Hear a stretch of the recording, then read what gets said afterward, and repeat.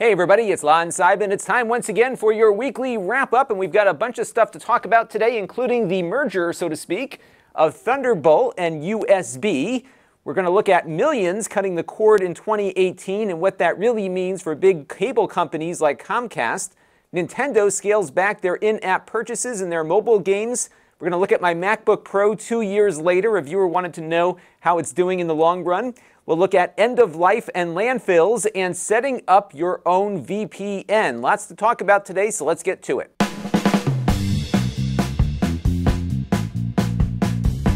Now, before we begin, I want to thank our newest supporter on the channel, Jim O'Brien, who gave via our Donorbox page. I want to thank Jim and everyone who's been contributing on an ongoing basis, along with everyone who watches on an ongoing basis too, because all of those things equal channel growth. So let's take a look now at the week in review. I was busy on the Extras channel this week. We uploaded three videos there. One is a mini review of a little charger that I got in through the Amazon Vine program that I thought was interesting.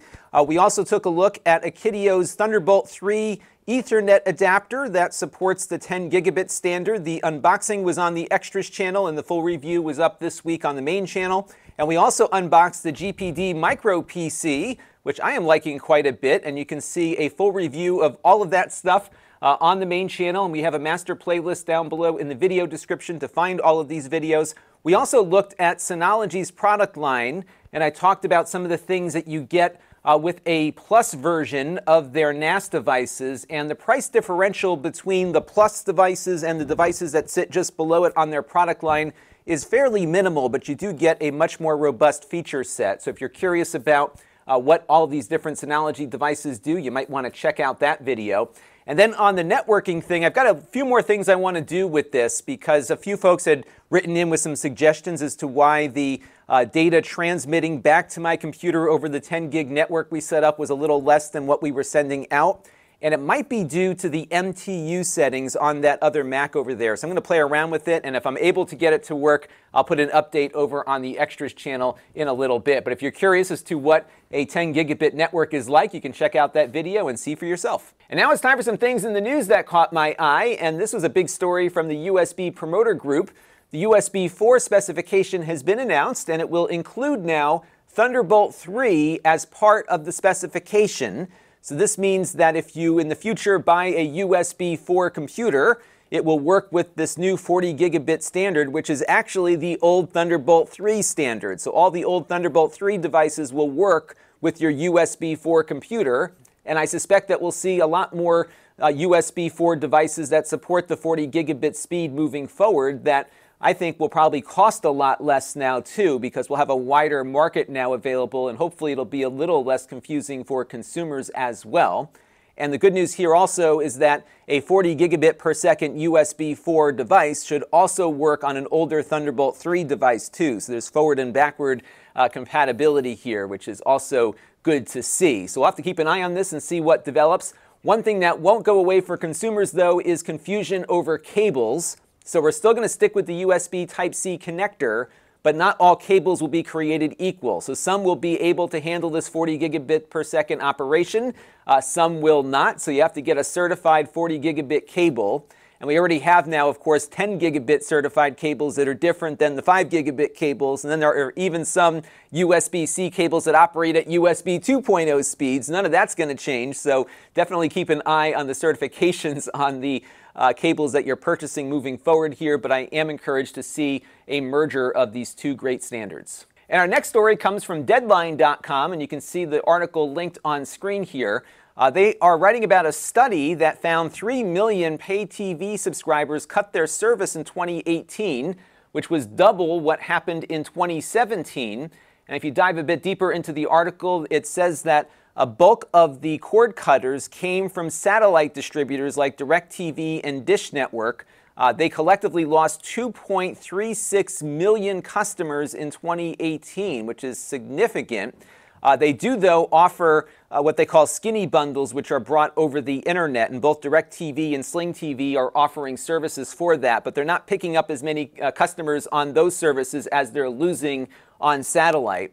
And that got me to thinking, well, what's Comcast's impact been in all of this? Well, it's actually kind of interesting. So if we look at their most recent quarterly report, which gives you the entire picture for 2018, uh, they actually picked up 1.3 million high speed internet customers in 2018. They picked up 1.1 million in 2017. Uh, they did, though, lose about 344,000 residential video customers. So people are cutting the cord uh, for TV, but keeping the internet cord in place. Uh, and overall, they lost about 370,000 uh, TV customers if you also account for businesses that were also using Comcast for television. So it doesn't look like Comcast is hurting at all. In fact, I think they're making much more money on those internet pickups than they're losing on the residential losses here because for Comcast, when you pay them for your internet service, they basically can uh, keep all that money. On cable TV, they have to pay out a lot of the money you're paying for your cable TV subscription to the content providers like ESPN and all the other cable networks that you watch. The internet doesn't work that way. In fact, Comcast is working on ways to collect money from the people providing you content over the internet. So this is uh, not bad for them at all because if you are going to cut the cord but you want uh, to watch some TV over the internet, you need an internet connection, and they've got the uh, local monopolies to make it happen for you. And in fairness, their service is actually pretty good, at least in my area. Now, of course, I should note that my service from Comcast is really good on the downstream, but not so great on the upstream, where I'm still uh, struggling along here at only about 10 megabits per second. One other interesting note from their quarterly earnings release was the fact that they are talking about their transition to a connectivity business uh, versus just being a cable television provider. And clearly, this is working well for them. Provide the dumb pipe and make a lot of money off that pipe, which they're doing. Uh, is probably the better strategy versus being held hostage by all these content uh, producers like ESPN and others. So it looks like Comcast really is uh, seeing the value here in having that internet connectivity that they can make available to customers, and uh, they are not losing at all uh, in this cord cutting era. Now, this week, Nintendo announced that they're going to be curbing their microtransactions in their mobile games to prevent their brand from getting damaged by uh, all this nickel and diming that we've been seeing in the mobile app world. And just last week, right before they announced this, we were talking about how Lemmings, a classic PC game franchise, was totally desecrated by this uh, mobile app developer that actually charges people by the hour to play the game. It's ridiculous, and apparently Nintendo does not want that to happen to them. Uh, so they have uh, ordered their developers who are using their license to be careful about how they charge players to play these games, which is great to see. You can read more about this on Variety. And I wanted to talk about something that I listened to this week in regards to arcade games and how they were developed back in the day and the similarities there are uh, to mobile. So, my pick of the week this week is going to be a little bit early in the wrap up today because I want you to go out and listen to this great interview on the Retronauts uh, with a guy named Mark Turmell, who was a developer on NBA Jam and a number of other games. In fact, he was an Apple II developer. I used to play his games as a little kid. I didn't even know it until I uh, listened to his interview. He used to do stuff for Sirius Software, and one of his games was called Sneakers, which was one of my favorites. And he was talking about how they were designing NBA Jam to basically consume as many quarters as possible and some of the tweaks that they made to the game uh, to make all that happen. So if you've never played NBA Jam before, it's an awesome arcade game. They have some great ports on uh, most of the major consoles from the 90s, and it's a two-on-two basketball game that uh, has a lot of fun animation to it, really cool dunks and everything. I just love this game. We used to play it a lot in college. And he was talking about the analytics that they built into the game back in 1991 to help them develop a game that could consume more quarters, but also help the operators to determine what settings they should set the game to to get as much money out of them as possible.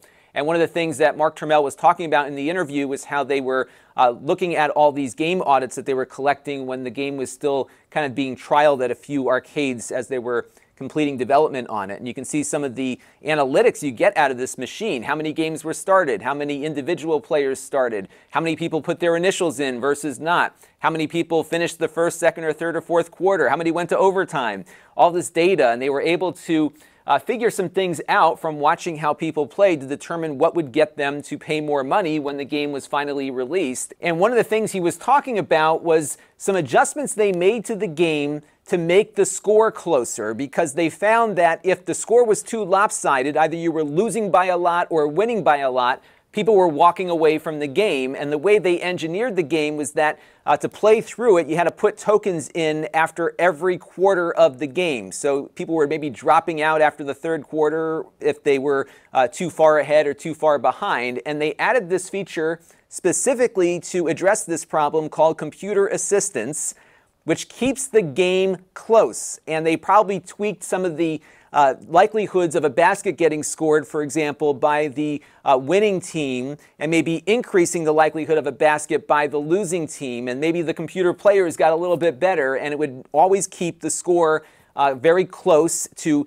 increase excitement, as they say, and higher earnings from the tests that they ran on this feature before the game was fully released. Because remember, uh, for an arcade operator, you have limited square footage and you have to pay a lot of money to either rent or buy these arcade cabinets. So if you could guarantee them that they'll make more money, uh, you'll certainly maybe be more inclined to invest in an NBA Jam cabinet. So they were very focused on the addictiveness of the game and the emotions that people might experience while playing the game in an effort to get more quarters out of their pocket. And this was just built right into it, right into in, right in the 90s, because they had the ability to start looking at these analytics. Now, what's interesting is Mark Turmell, the guy that uh, was the lead developer on this project, who was interviewed in that podcast interview, now works for Zynga, the mobile developer. And he was very upfront and honest about how he uh, took a lot of what he learned trying to make games addictive in the video arcade over to the mobile app side.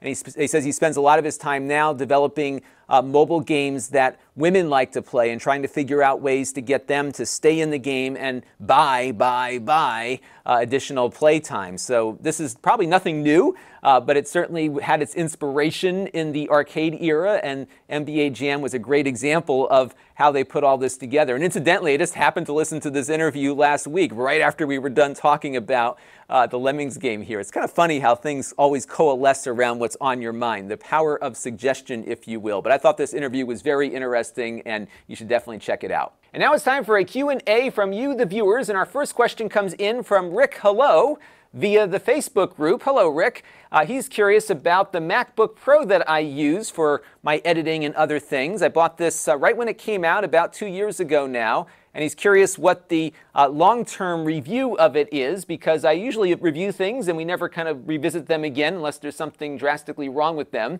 Uh, and you might recall there was something drastically wrong with this particular device because when I bought it and installed Windows via Boot Camp on it, because I do like to run Windows from time to time on my Macs, uh, there was a driver issue from Apple that physically blew out the speaker. So my first purchase of this computer was replaced by the one I have now. They basically did a you know a swap out thing for me to give me a new working computer. So that was the first problem I ran into with it. Uh, the second issue I've had with this particular computer is that I had to get the uh, Thunderbolt ports replaced on it. All four of them uh, essentially failed, and that things got so loose, if I would just nudge the computer a little bit, it would disconnect my drives. Uh, they fixed that under warranty. It took about a week or so. Uh, they sent back the same computer I had, but it looked a lot cleaner. it's a kind of a mess right now. Um, so that was another issue that I had with it. But I haven't had any real problems since then, except for, of course, the keyboard on it. Uh, the keyboard on these MacBooks is a mess. It's a mess on this one. Uh, it is a mess on my little 12 inch MacBook. My wife has a MacBook Pro, a, a 13 inch that I got her about a year or two ago. That keyboard is a mess too. We're going to be uh, one at a time uh, taking advantage of Apple's uh, keyboard replacement program that's out there. If you've got one of these devices, and this goes all the way back to 2015, uh, I would suggest you take advantage of this because they will fix them even if they're out of warranty because they've identified that these keyboards are just terrible. And no matter how many Macs I've encountered with this keyboard, I have yet to see one that actually works correctly.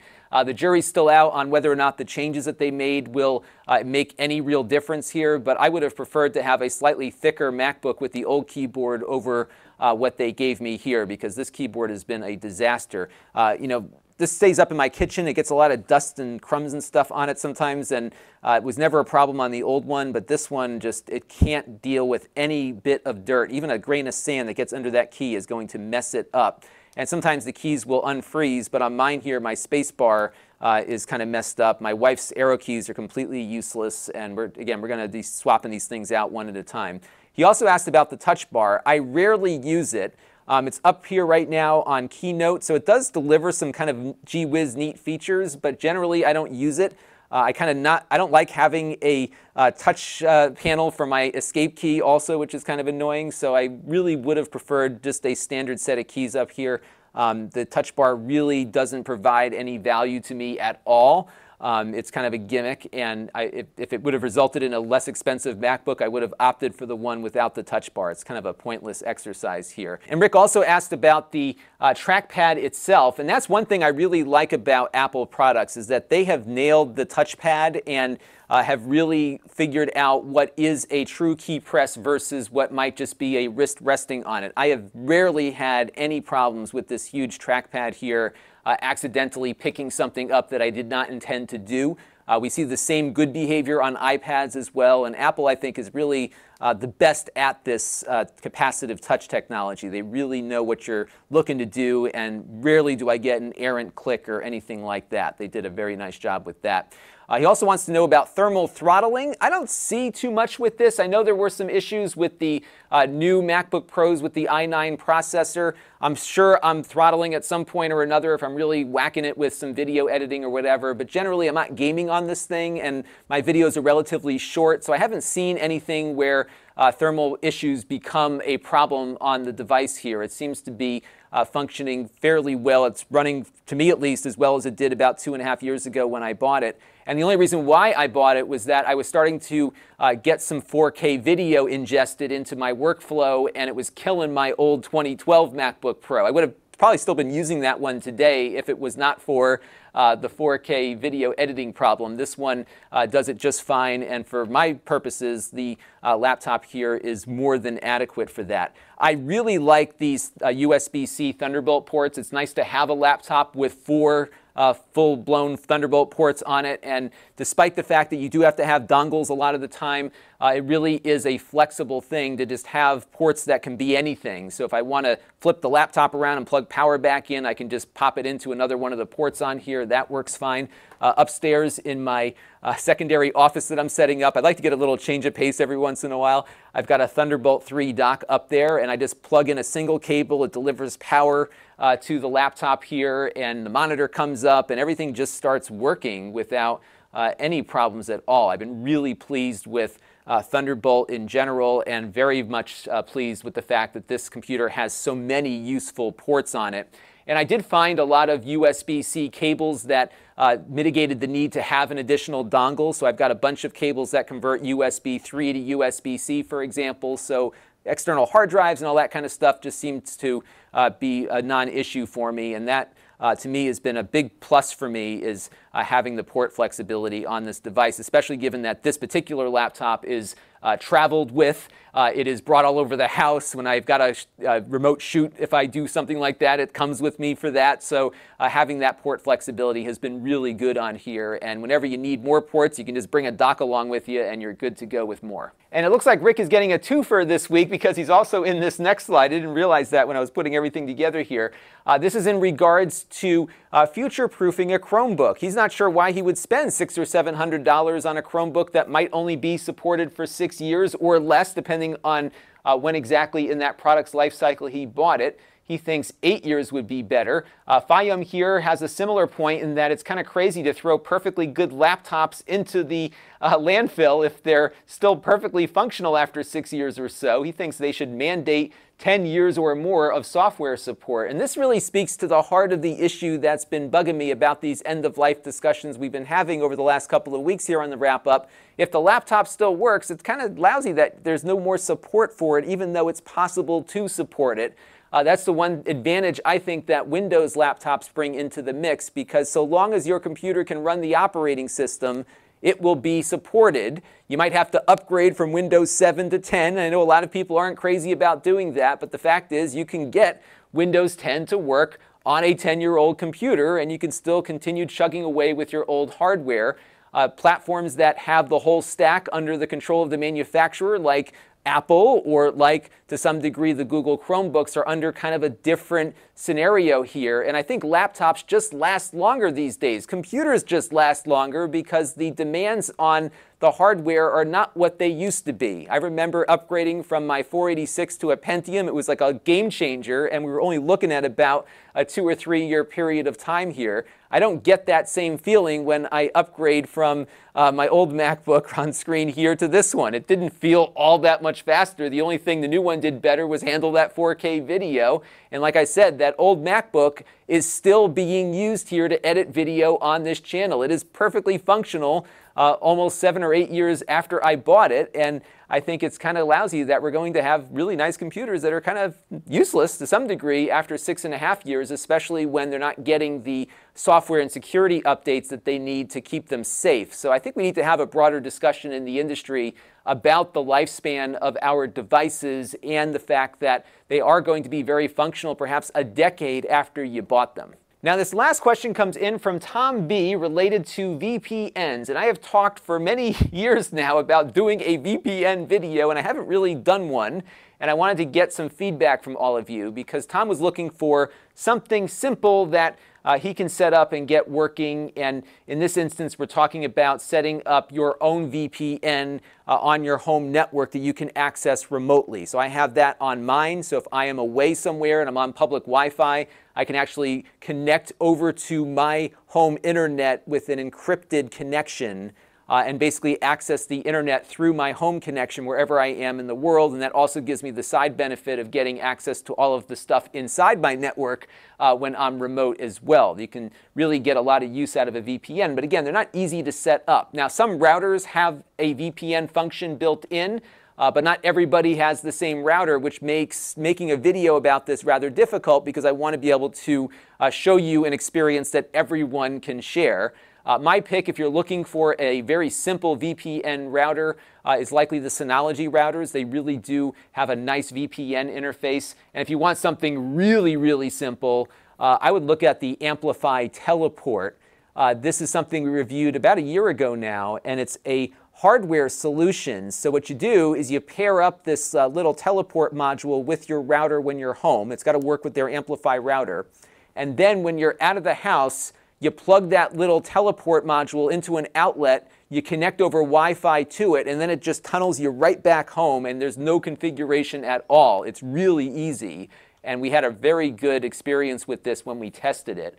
Uh, so that might be a little too simple for some people, but I think for a lot of folks who just want that connection without any problems whatsoever, uh, the AmpliFi Teleport really works very well, even though it is a hardware solution uh, all the way through. But one thing I was contemplating, and I wanted to get some feedback from all of you, is maybe doing a video on PiVPN, which turns your Raspberry Pi into an OpenVPN server. So you can open up a port, point that port at the Raspberry Pi, and it will manage the VPN for you.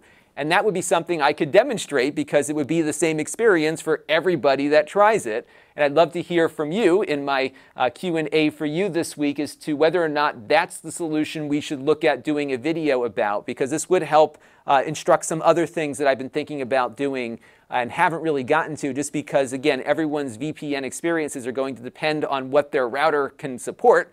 Uh, but if we can find something that makes it rather simple to set up a VPN, then this might be the way to go. Let me know down in the comments below. So this week on the channel, we've got a couple of fun things to take a look at. The first is the Lenovo Smart Tab. This is an Android tablet, but it is paired up with the speaker dock, and it turns it into an Amazon Echo device. So you've got the uh, display driven Echo functionality along with an Android device running it. And I'm curious to see how Android apps might work with this because one of the issues I've had with these smart displays we've looked at, both the ones from Google and the ones from Amazon, is that you don't have an app universe to play with. So if you wanted to pull up your favorite TV app, you can't. Uh, this one might provide that functionality, so I'm very eager to see uh, how this one comes together. So stay tuned for that. It'll probably be up a little later in the week. I also got in a new 27 inch display from Dell. This is a 1440p display, so not a 4K, and it looks like it's got barely any bezels on it. We'll see exactly whether or not the monitor actually looks like this when we take it out of the box a little bit later this week as well, so stay tuned for that. And I'm going to have another production video this week. I know a subset of the audience is always into how I operate here on the channel. We're going to be taking a look at the BirdDog, which you can see on screen here, which is another device that will take HDMI video and convert it to NewTek's NDI standard. What's cool about NDI is that once you get video into some kind of NDI device, that video is available on your network and it's like having a network video capture device. It is a very flexible protocol. In fact, the BirdDog right there on screen is driving the presentation from my Mac today. Uh, the Mac is outputting its video via HDMI to the BirdDog, and that's feeding into my TriCaster. But I could boot up OBS and grab that video just the same way. It's an amazing protocol. Uh, this device is similar to the NewTek Spark, which I have right over here, uh, that we looked at about a year or two ago. Uh, the BirdDog has slightly better video quality, and we'll talk about the differences between this one and uh, the BirdDog device in that video. I actually shot it already. We just have to edit a bunch of stuff together, so that should be showing up a little bit later this week as well. And of course, you never know what might uh, find its way to the studio too in the course of the week.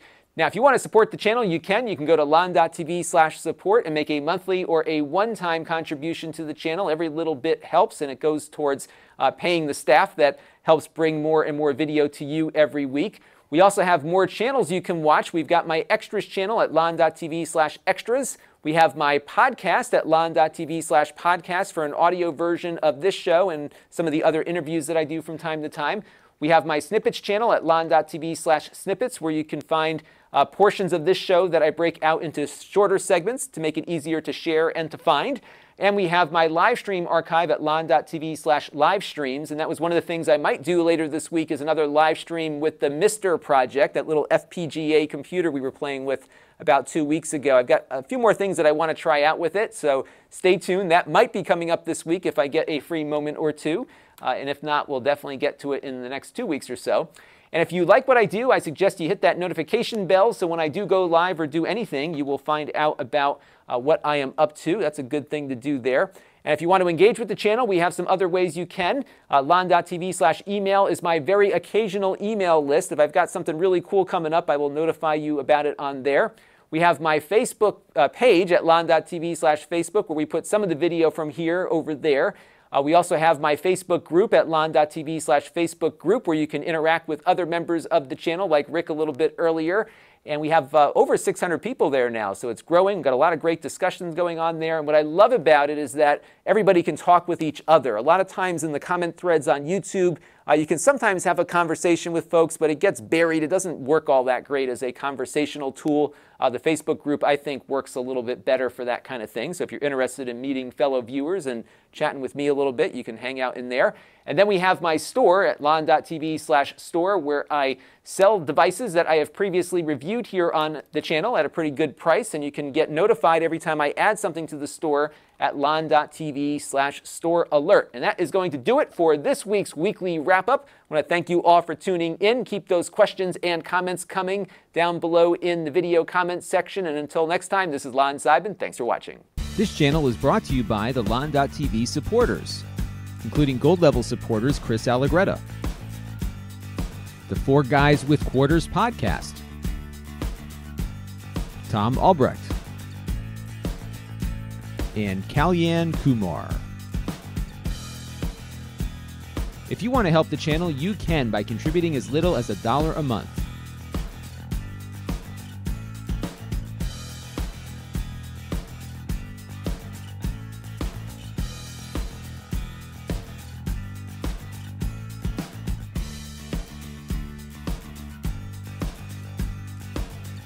Head over to lon.tv slash support to learn more.